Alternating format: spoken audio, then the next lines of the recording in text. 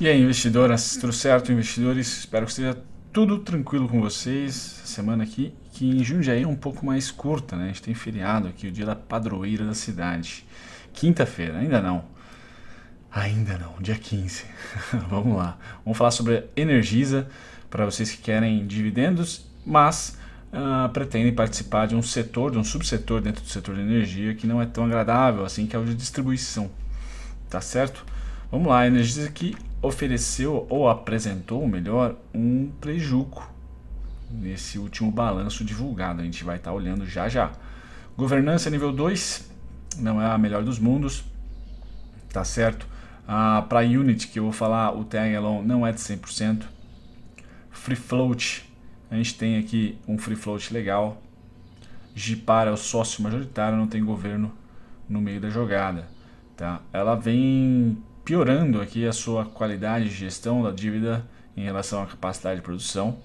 Já fica vermelhinho aqui, ó, para o segundo tri deste ano. Uh, aqui não computou uh, exclusivamente o último balanço trimestral, mas ela foi deficitária. Tá? Então é bom ficar de olho. É uma empresa que pode apresentar alguns, alguns percalços, gerando oportunidade, certo? Para quem acredita na empresa, para quem quer comprar mais barato. Vamos lá. Aqui é o artigo que eu trago para vocês. Tá? Então, a Energisa apresenta, apresenta prejuízo de 8,9 milhões no segundo TRI. Tá certo? Pela Diana Chang. Bem recente esse artigo. Tem até, se vocês quiserem, para quem é mais CDF, nerds aí, tem o um relatório completo aqui, ó, do RI. Só vocês baixarem aqui. Vou tentar lembrar de deixar esse cara aqui na descrição do vídeo, mas se não é só vocês digitarem Eng11 né, ou Eng Energisa uh, RI no Google, vocês acham tranquilamente, não é difícil. Tá? Uh, quanto ela distribui de dividendos? Vamos trazer aqui. Ela distribuiu no ano de 2018 para as units mínimo de 15 centavos, máximo de 65 centavos. Foram uh, aqui tem até tem 2019 já, perdão. Uh, clicar aqui, vamos ver se vai aparecer vários. Não. Então aqui, uma, não sei se dá para tirar uma média burra, né? Mas vamos colocar aí um, um mínimo de 15 e um máximo de 65 centavos por unit. Então é considerável, tá certo? Considerável a distribuição de dividendos dela. Não é ruim, nem um pouco ruim. Aqui estão, estão os meses, né? Setembro, março, setembro, março. Esse ano aqui rolou mais um, abril. Então bacana, uma empresa que para quem quer ter na carteira de dividendos é interessante, interessante. Fundamentos, a gente percebe aqui o, o segundo tri está computado aqui, ó, já está atualizado. Então o segundo tri a gente tomou uma pancadinha aqui, certo? Uh, mas continuamos aí com um ROI muito bacana, um ROI tentando chegar a 10, uma margem aí que não é das melhores do mundo, né? Mas existe uma margem interessante para o setor. Dividend yield, como eu falei, é bacana, ela negocia hoje a três vezes o valor patrimonial, então ela está cara, não está descontada não. PL também está gordinho. Então cabe a nós, grafistas aqui, tentar especular algum momento de queda. Tá? E que eu quero construir com vocês aqui? Primeiro de tudo, eu gostaria de construir toda essa esse fluxo comprador, que para mim foi o mais importante, certo? Vem, tchum, tchum, e aqui a gente vai ver que chegamos ao final dele, né? ou possivelmente ao final. Então A, B igual a CD, a gente chega mais ou menos aqui, depois chegamos um topinho ali, não fizemos muita coisa aqui, não foi uma retração muito bacana.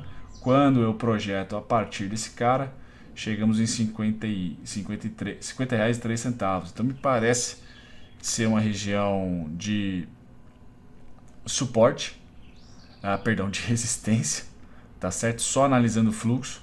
Ah, outro, outro indicador técnico visual que pode tentar ajudar a gente a, a administrar volatilidade é justamente um canal de alta, certo? Um canal de alta que eu colocaria aqui, certo? Mais ou menos por aqui ou até aqui, de ver. Bom, é, a partir desse cara aqui, desse topinho, certo? Um canal de alta para quem é chegado em canais de alta, então de maneira não muito uh, certinha, tá certo? A gente tenta,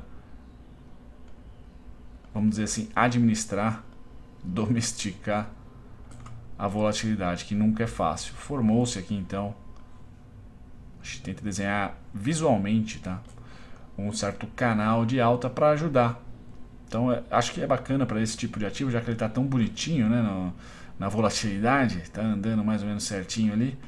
Então eu acredito que no o momento atual é um momento de inflexão de mercado, não quer dizer que vai inverter tendência, vai começar a cair. Não, quer dizer que pode sim uh, dar uma dropada. E nessa dropada a gente tenta perceber os melhores pontos de negociação e para mim o melhor ponto de negociação atual é o 45 e 12. Tá certo? E trazendo vocês aqui para o diário agora, né, o ponto que eu falei do semanal ali era justamente essa região aqui, ó. Deixa eu ver se eu consigo mostrar para vocês essa região aqui, tá? Price action um pouquinho mais para baixo, 42,89 mas seria uma bela de uma desvalorização. Não sei se ela vai chegar a desvalorizar tanto para voltar para cá, mas eu também tenho aqui pontos se eu tivesse que traçar linhas, né? No 42,89, certo?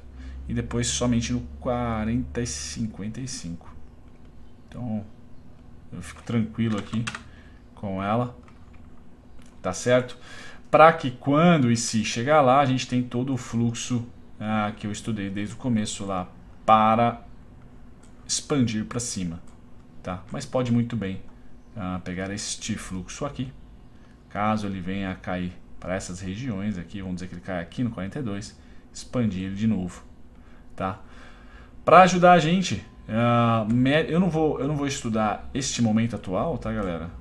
Porque este momento aqui, né?